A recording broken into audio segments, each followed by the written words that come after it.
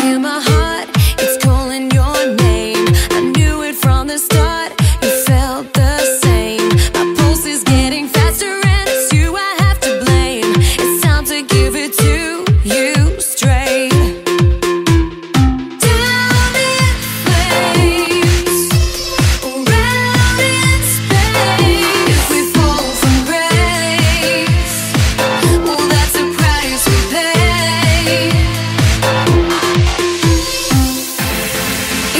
if the ship goes down tonight, even if the stars turn into